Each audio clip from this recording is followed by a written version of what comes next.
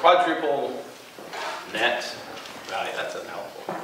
I like have to think about it when I say it. Um, so rather than me tell you what um, all, you know, how this project relates to these concepts, I thought we'd have a, a discussion about it. I think we've given you a lot of uh, information about, you know, various aspects of the project that apply to this. So, um, so you got economic value, social and cultural value, environmental value, and sensory value. And so before I look out and no one raises their hand, I'll give you a piece of advice that I'm probably going to share with you at lunch, is to remember every day is an interview. So here's your chance. um, so let's start with, uh, with economic value. So some of you have written papers and read about these things. So where, what, how are we creating economic value and who are we creating economic value for? Come on. All right. So are you understanding how to bring to the table? Yeah, so, you, so you're both, you both touched on an economic uh, value or impact, um, but you haven't said what the mechanism is, right? So you said property values go up, and you said, you know, we're, we're creating, we're leasing space to restaurants and people, and so what, it, what is that financial mechanism that returns money to the community? Huh? Jobs, that's one of them, that's not the one I'm after. Property taxes. Yeah, property taxes, right? And sales tax, right? Liquor tax, all of those things. And so if we're, in, if we're, if, so we're creating property tax base, so we've taken a piece of property that was on the university tax rolls that doesn't pay tax, right? And we're now converting it to a private use, so we're generating a lot of property taxes. Um, and then to your point, hopefully we're providing, we're enhancing value for everything around us. So if housing values go up, unfortunately, you know, maybe they don't want their property taxes to go up, but they'll be happy when they sell, right? And then we're creating, you know, uh, um, sales tax, property, or uh, uh, alcohol taxes, and so, um, so we are inherently returning a lot of money to the community that then gets used in, in various ways. So, what other economic value? Did you ever mention about the ground lease? Yeah, so that's, I, I should have covered that in the structure. So, um, so the university did not want to sell property and actually think by law they're not supposed to sell property. They're, we're a land grant school. Um, so we don't own, we didn't buy the property, so we ground leased the property. And so one of the benefits to the university versus just the fact we're creating something that hopefully is a positive impact on the university in terms of attracting students and faculty and whatnot, is we are leasing the property. So suddenly that property has gone from not generating any income to generating income. The other piece is it's a participating ground lease. So we pay a base ground lease rate, but as we are increasingly successful, the university gets to participate in that. And it's, it's interesting when we negotiated that deal, and uh, you, you have to appreciate our, our, our chairman is, you know, we found ourselves almost negotiate, negotiating against ourselves because yes, we were the developer at the same time we're you know we're Aggies, and so it was sort of like, well, what's good for the university? And we were the one that actually brought up the participating concept that said you should be asking for this, and we're okay paying it. You know, if we're all going to win, then let's all win and benefit together. So, um, so that has been a, an economic impact to the university. Thanks. Any others? I think we covered most of them. Jeffrey, are there any missing economic impact? I think that in terms of the tenants, you're creating a value return Yeah. for them too. Yeah, I for the tenants, yeah. The tenants that Von talked about, Right. these are tenants that would not be in Coles Yeah. Yeah, that's right. We're, we're, we're creating uh, economic opportunity for the tenants. And we truly look at ourselves as partners with our tenants. Um, the, um, our job is to help them be successful, right? We're not just interested in getting a rent check and sort of saying, you know, you, you horrible tenant, you haven't paid your rent on time. If we do our job well, they're going to be successful, and our job is to help them be successful. And if we do that, then we're going to have opportunities with them in other places. And no different than the Texas A&M ground lease, we're incentivized to help them because we have what's called percentage rent, right? So they make their, they pay a base rent, but as their sales eclipse a certain threshold that we've agreed on, then they start paying us some more rent. So we have some tenants in city center that are paying more percentage rent now than base rent, right? So that's good for us. Um, So, and it, it is, um, I, I- think in that, that idea of, I mentioned conscious capitalism, it is, it is that idea that doing the right thing and making money are not, you know, mutually exclusive ideas. They are indeed one and the same. And if you can do that, then that's a real benchmark for success. All right, social and cultural value.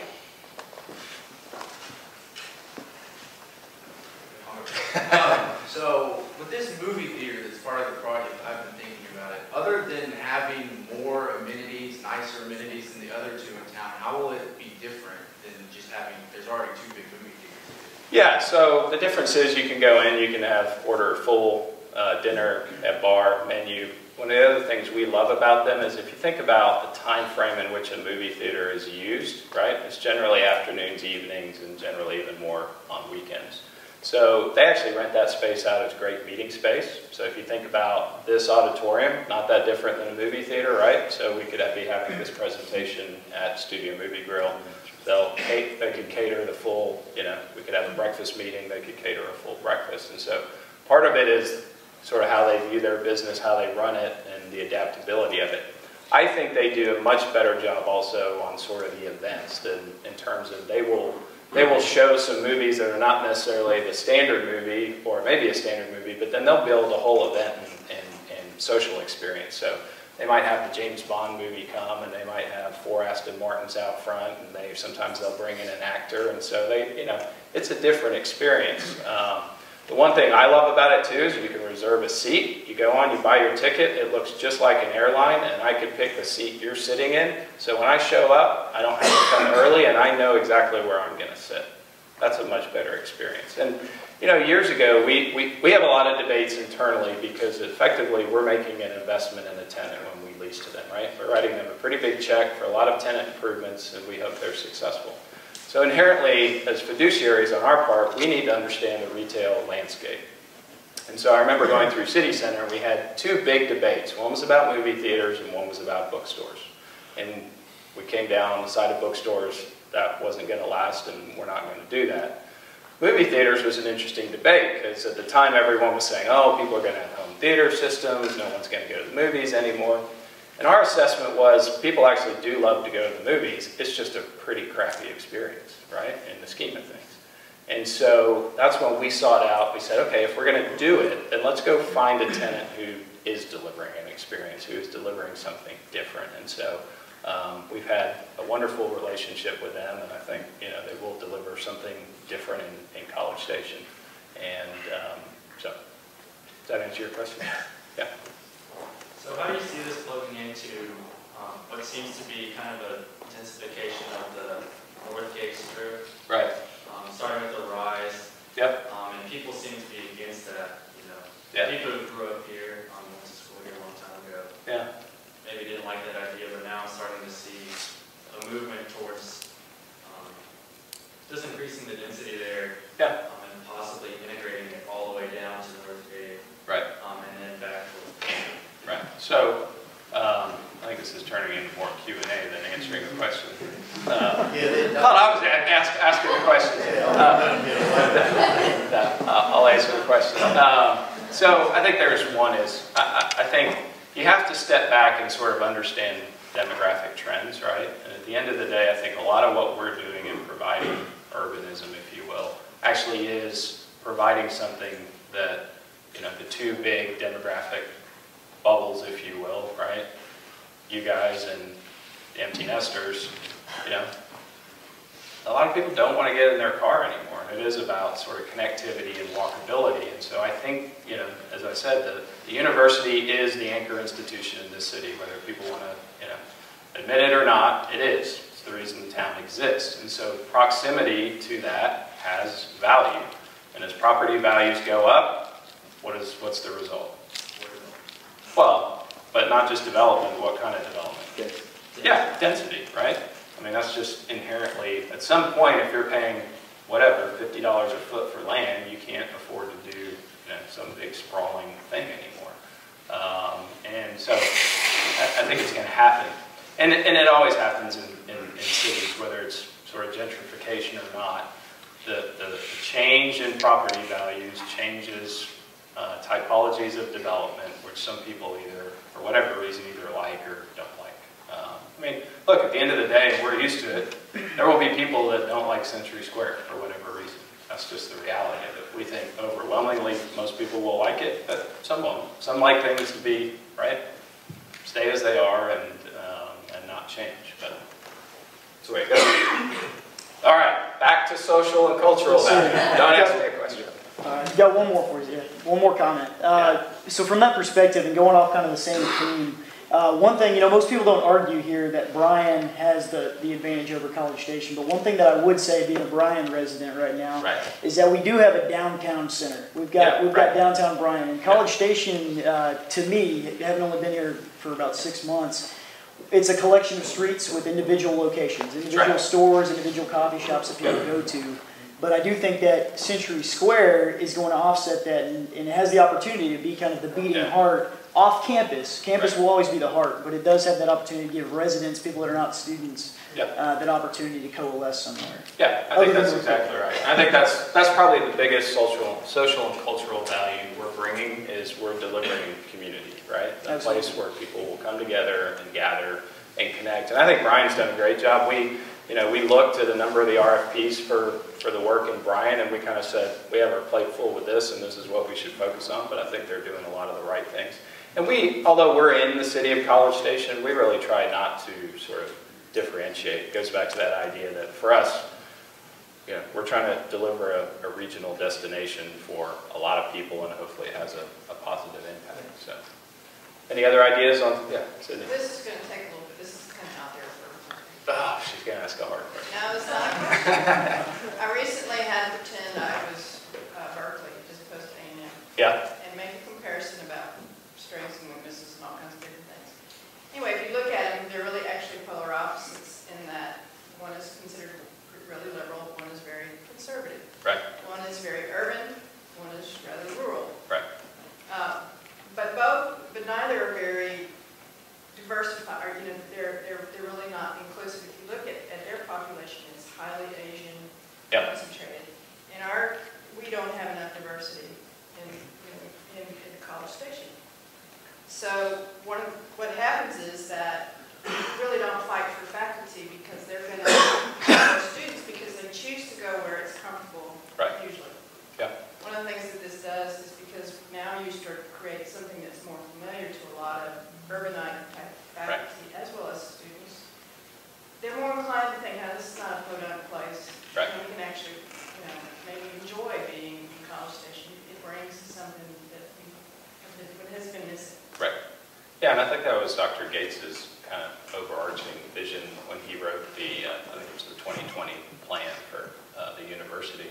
Um, And I will say, you know, we, we've done a good job of, it's attractive to everybody. And I, I love, we office in, in our city center project on the second floor, we overlook the plaza. And I've been there working some evenings where, um, and even on like a Friday or Saturday, eh, or if, if we're there, and that project turns literally four or five times in an evening, right? So it's like early evening, young families are there. Then it's, you know, kind of older empty nesters come. Then it's like families with teenagers and, and it goes all the way through those that are, you know, hanging out in the club till two in the morning, right? So in a, in a, in a really impactful way, I think we've done our job that, you know, we are an attractive destination for all those demographics. And frankly, there's incredible diversity uh, in terms of the people, you know, you see come through the project. And so um, that inherently is, is the underpinnings of, of building community. What time do we have till? Uh, Fifteen more minutes inclusive of Q&A. Oh. Till eleven thirty. Okay, but we got a bit Q and A in that. Okay, we'll go quickly. All right, environmental value. You already are bringing in the environmental value with mixed-use development as opposed to traditional Texas horizontal development. Right. So that's already pretty good. And Yeah. then keeping the oak trees and moving them around. Yeah. That touches on the sensory value as well. Yeah. So that's all, uh, I think that's gonna bring a lot of oohs and ahs to it as well. Yeah. It was interesting, at one point, um, we, we, we had a, a big debate internally about LEED certifications. And my feeling is, we were happy to, you know, we were already doing 95, if not 100 and more percent of what the LEED was. But if, if you looked at the money spent to get your LEED certification, I mean, to me, it was sort of a, it was a marketing scam, right? Know, I was like, why, why, why do I need to spend that money? We're doing the right thing. And ultimately, right or wrong, some of our institutional partners said, that's a mandate, and, and for the right reasons, it was a mandate, right? And so, and so we started doing it. And at, at one point, someone kind of got wind of it and started giving us a hard time that some of the buildings at city center were not LEED certified. And I made the very point you made. I said, we can do all that stuff on a standalone building, but you want to take city center as the context, not a single building LEED certified. And, you know, the environmental impact we have of people not getting in their cars, you know, as often and all the mm-hmm. time and staying in one place is vastly greater than, you know, whether I did a certain kind of air handler in, in the building. Now, generally, we do go and get everything LEED certified these days, but it's, um, it, it- that was one of the, the great marketing campaigns of all time. And because they took something, drove an agenda by essentially making it a market standard, and it was incredibly smart. And I'm, I'm not against it. For us, it was just sort of that, you know, I can spend $200,000 somewhere else than paying a bunch of consultants to fill out the paperwork and you get a, else get a plaque at the end of the day. But- All right, last one, sensory value. This is always the tricky one. This is fun. Yeah, Again, it's on that walkable um, aspect of the development where I see it. yeah, Like in city center, people like to be around people right. um, in an urban setting. And here, you don't really have that outside of Northgate, which is typically younger people who are a lot of times drunk. Yeah, right. Yes, right. But, um, so this creates an alternative place for people that maybe are a little older, and still want that urban setting, but are a Yeah. little bit, um, have a different intention for the outcome of the night. Right. But you get to see, see and be seen, as you said. Yeah. Uh, I think this actually will tie into cultural value, or at least the context portion of it, but whenever y'all hit everything with the cavalry, um, and y'all are trying to make it military based, as well as the George with the railway and tying that into, you know, College Station's rail, um, history, Right. I feel like that really hits the sensory value on the head. Well, I think that's about, or that's about two things, right? It's about uh, cultural context, and then it's about authenticity, right?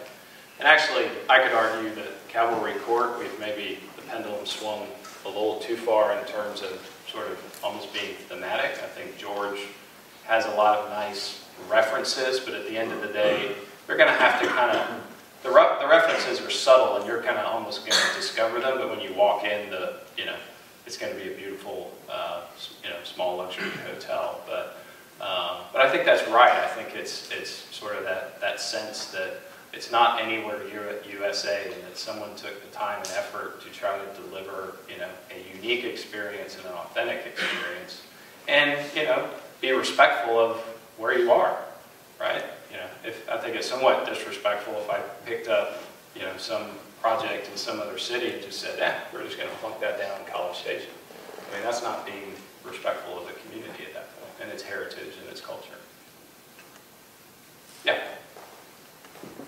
I uh, found out about the hos, the hotel, the George, and I presume that it was tied into uh, the presidential library here. Is that at all the case? or- it, it sort of was, yes and no. There's actually, there's a lot of famous Georges, and we're gonna work that into the hotel at some point. It'll be kind of fun the way it works, but, um, it- it- the two that, for whatever reason, we had a connection with, one was George Bush, the other one was George Mitchell, sort of the famous developer of the Woodlands. He was an Aggie civil engineer.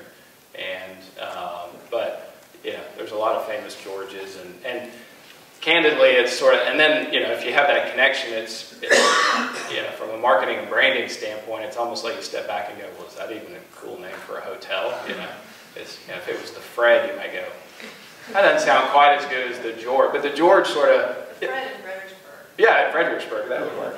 But, you know, the George sort of, it felt good, It felt, uh, felt, felt like, you know, that's somewhere I would stay, so.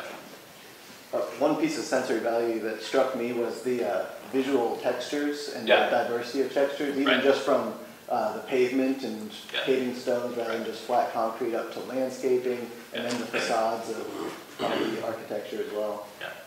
And I'll tell you, one of the, one of the best sensory tools we have, and a lot of people aren't very good at it, we try to spend a lot of time on it, is patios. And, you know, it's interesting in certain climates how people say, oh, it's too hot, they won't sit outside, and, you know, we were on our project tours, remember I told you the 27 projects in 17 cities? We were in Miami and people were sitting on patios, right? Miami is no better than climate than here, no more or less humid.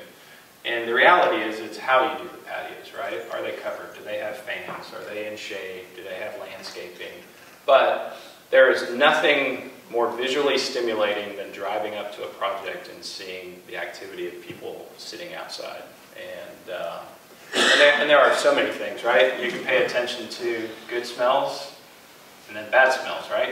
About trash, right? If we don't do trash the right way, that could be a huge negative. So it is truly all those senses. It is what is tactile, what do you see, what do you hear? You know, one of the reasons we have events and we do music, that's a sensory value, right? When you, you, you react to something differently when you hear music. It sort of automatically gives it contextual references. And so we try to pay attention to, to all those things. So, all right, y'all did a good job on that.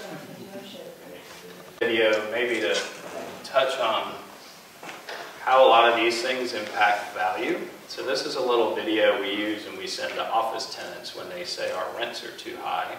And we're subtly trying to convince them not only our rents not high enough, but they should potentially pay us more.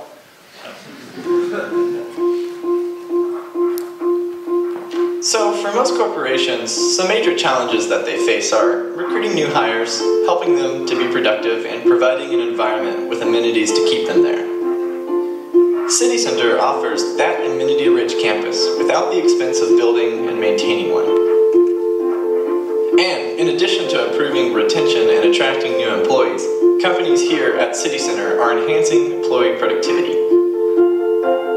Okay, so what does that mean? For example, let's take a 270,000 square foot office space at an annual delta on rent of $4 per square foot. This equals $1,080,000. For a company with 1,080 employees, that is an average cost of $1,000 per employee per year. That's only 48 cents per employee per hour. Now, if we take into account the ease of access to world-class amenities such as dining, athletic, retail, hospitality, urban green spaces, and sophisticated residential choices, we can easily assume 30 minutes of increased productivity just from the amenities that City Center offers on campus. That is at least $2,970,000 in savings from increased productivity every single year. In the end, the extra few dollars a day you'll be spending starts to seem much more like an investment, where your return is better recruiting, retention, and productivity. All at City Center, where our people make the difference.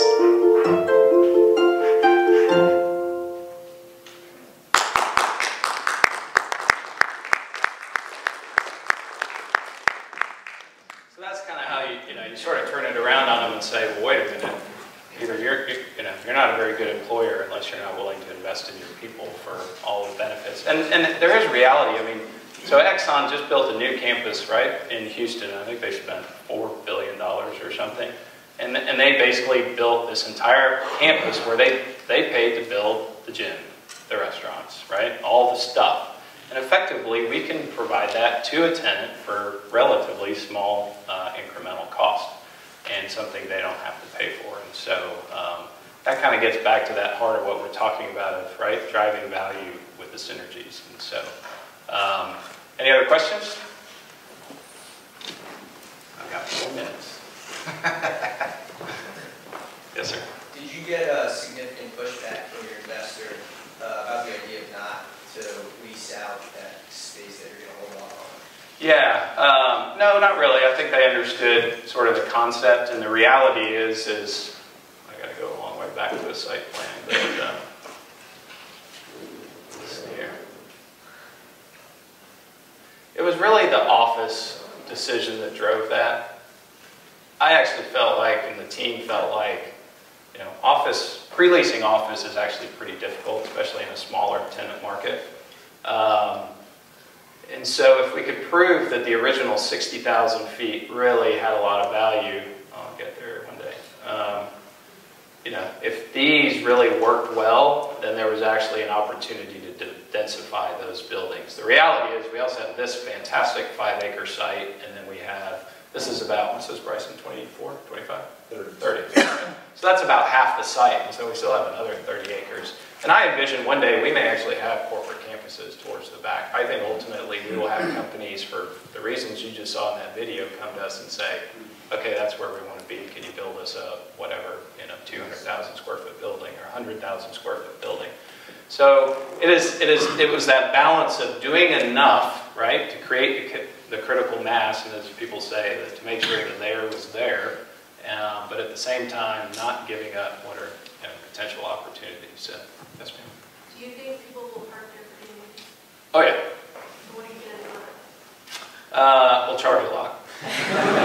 Um, no, I, game days are going to be really fascinating because obviously we're going to be a natural place for people to come and congregate. Um, and so we're going to be working with the university between our own parking and then also the bus system as to, you know, and it, it won't be easy, but that's why John's here. He'll figure all that out for us. Um, but, you know, there'll be a balance in there between, you know, Jenna will be planning all kinds of events for game day, so it's a great experience. It- You know, we know the restaurants and everyone will do well. The hotels will do well.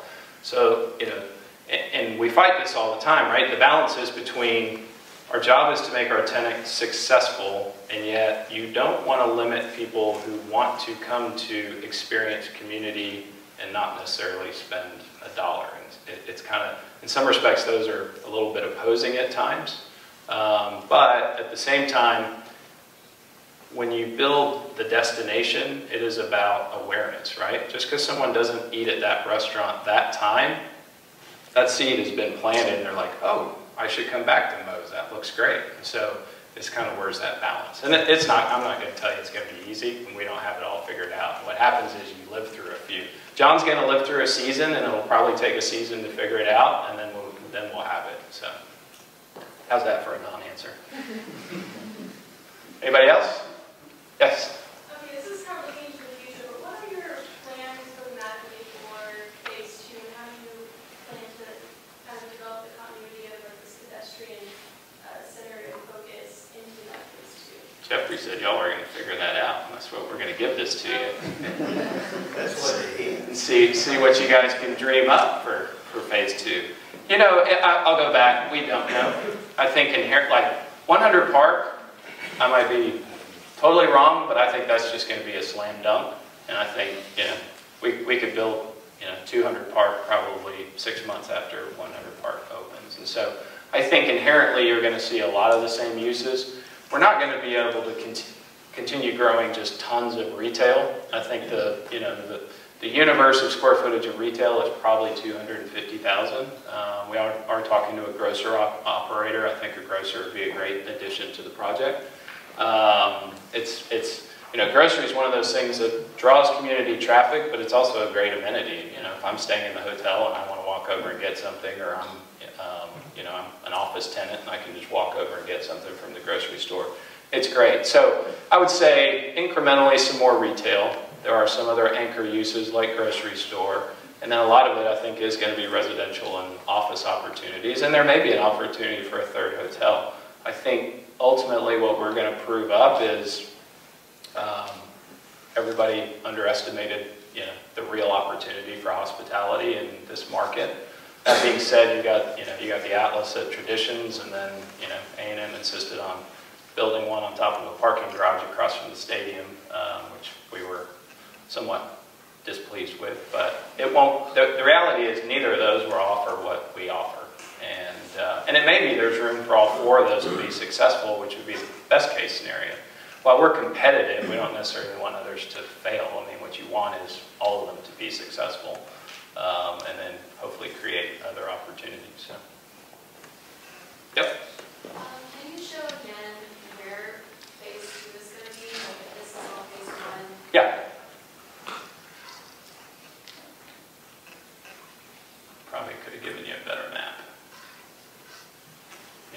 Comment, we should have put bicycles on here. Okay, so that slide I just had up is basically that dark gray area. Inside this white line is all the new student housing uh, that we built. And so we have this piece here along College, and then we have this kind of piano-shaped piece here. And so, and ultimately, the university owns a piece of property here, and we've talked about, you know, as, it, I mean, actually, there's beautiful property back here. It's got some topography to it, but the idea that this street here that connects to the light, um, I would like to see, we would like to see this sort of go through to Rosemary. I think it'd be a great connection for, for Bryan without having to hit this intersection. Um, but I, this is where I can kind of see corporate campuses ultimately growing and expanding into the project. Does that, does that answer your question? Yes. Yeah. thank you. All right, I'm two minutes over. Wait. One more. One Sir. more burning question. Yes, sir. This one's burning. This actually, I'd like to direct this to kind of the whole, the whole team. Yeah. Uh, there's a number of us here that are interested in, and active in like the Congress for New Urbanism and Houston Tomorrow, and, Right. and a lot of these groups that champion uh, building on, on the human scale versus the automobile scale. And so I was just curious for, for you know any members of the team if there was any you know have, are y'all active in those organizations? Have you read? Uh, are, are there any that really I guess, drove the vision for Century Square. I'm thinking, you know, Andreas Duany and guys like that, maybe Donald Shoup, Yep. you know, work on parking. Because it seems very inherent in your project. Yeah, I, I mean, I was, and these guys can answer, um, I mean, ULI is the one I look to the most. I've always been heavily involved, and I think that, that's sort of the biggest, most inclusive tent, both from those concepts and then each of the uses, right? I mean, there are members there that are multifamily people, office, retail. Um, but, you know, their first mixed-use development book was written, I have a copy of it, but I mean, a long time ago, it was like in the seventies or eighties, I think. Um, so that's kind of the one I look to. I mean, I don't know if y'all think any different. Yeah, um, I'm involved in the central Houston kind of downtown revitalization effort, trying to bring, downtown has a tunnel system that's underground. A lot of the retail and restaurant, uh, tenants are all underground, so it's not very active at the street level. So it's, it's, uh, kind of a young professional group, just, um, starting the conversation, trying to get some momentum about bringing that life downtown. Similar. Absolutely. Yeah. Thank you very much. So I, I just want to bring something full circle. Uh, There was actually, in this class, I believe, maybe 15, 20 years ago, they actually did various designs for it. Yeah. For phase one. Right. And it would be, I don't, it was probably, um, Chicago, it was probably had a class, I don't know. It would be interesting to see what they thought 15, 20 years ago would, would be there and how much it matches, Yeah. matches or doesn't match. But my point to you is you get to do phase two, and in 15, 20 years, you'll come back and you can see whether or not you had any kind of influence on Midway and what they ultimately decided to do. Yeah, it would be great. I, I have some of those somewhere. And interestingly, our, our first master plan, I should have, we should have included it, but, um, I'll just use this one, was actually, we, we, we kind of had this original strong bias to this intersection. So the whole property was planned on a diagonal going through, and it sort of had a, a smaller circular plaza here and then a big one here. Um, and ultimately that changed because of what happened here. Um, and then we went to kind of what I think is a more traditional urban plan. But I remember some of the original concepts uh, were not dissimilar to kind of that orientation on that corner. But they were good. All right, thank you all very much.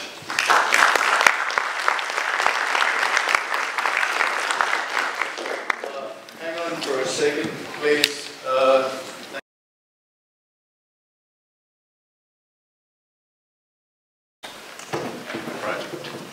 The mic, huh?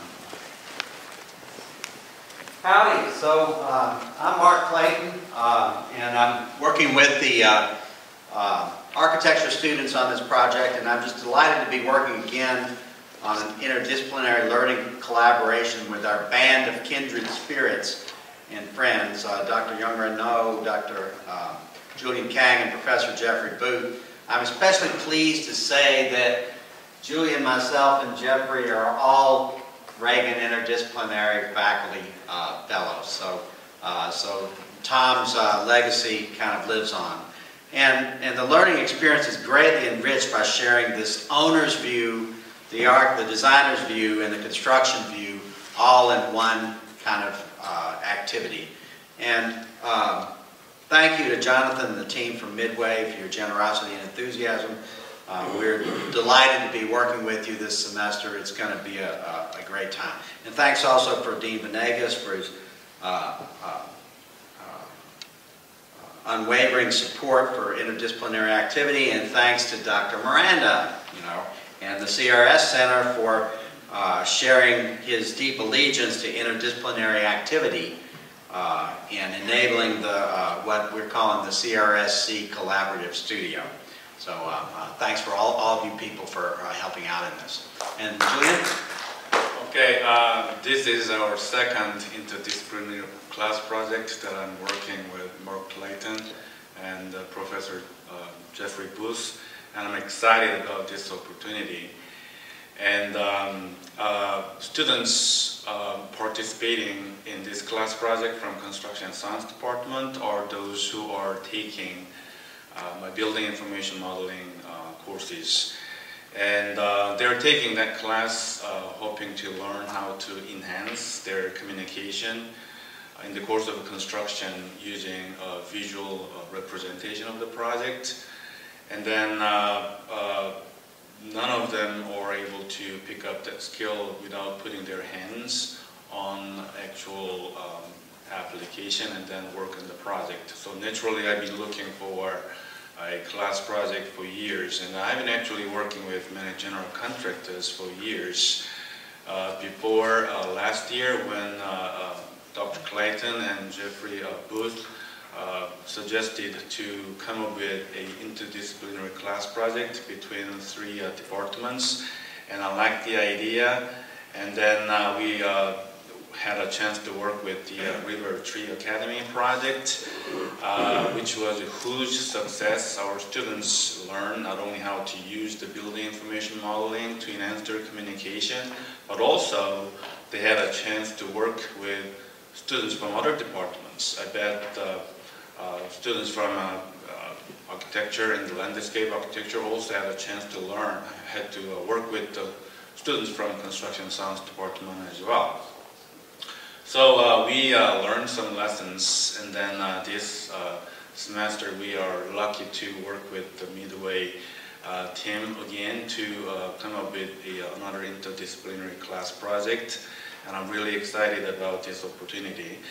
And um, this semester we will try to bring something new as well uh, as, uh, uh, as we move on the, for the construction project, uh, which is uh, a new emerging technology, 3D printing and the BIM cave. after creating the building information model to explain your class project, we will try to encourage you guys to use a 3D printer to actually print out the components of the building and then assemble them together to understand the construction processes. Also, we'll have a chance to enhance collaboration and communication between the team members. Also, we will try to use, have you guys to use the BIM cave, which is a huge video wall of 36 screens projecting the images of the building information models uh, to, for the final presentation. So uh, some of you guys will have a chance to use the BIM Cave to explain what you have uh, come up with for the phase two of the, of the, uh, the Century uh, Square project.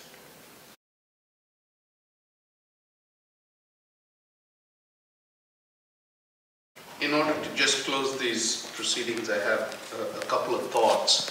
I have one very major regret, and that is that there weren't uh, very, very many more architecture, construction, landscape architecture and urban planning students over here to listen to this presentation because I think something very significant is going on here. Uh, when I read those three sentences to you, I left out a sentence in the middle in the hope that something would happen, and it did. And so now I'm going to fill in that sentence in the middle uh, And it goes like this. The new way is by team. Almost any team can produce mere shelter. But to produce environments which are good, livable environments takes a new kind of team. One sensitive to human needs and values. And I have to congratulate Jonathan and his group for bringing that, a vision of somebody from 50 years ago, back to College Station. Congratulations and thank you.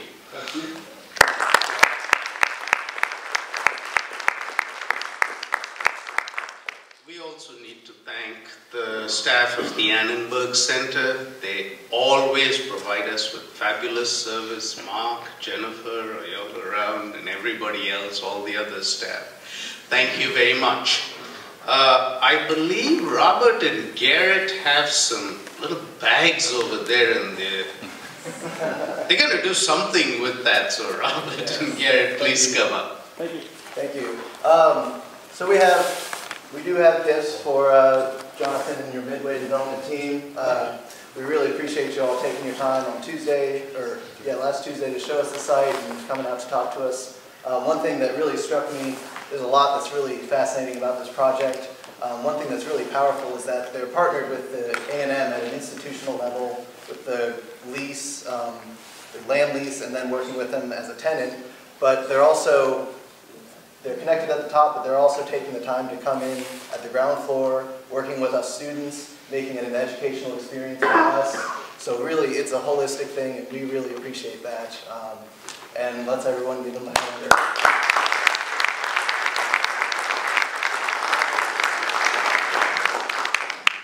And uh, we're doing a lunch after this. Um, it was an RSVP lunch, so if you've RSVP, then uh, please join us. We do have the list of who all is there.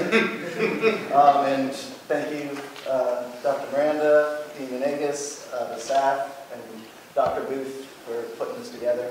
Appreciate all of you.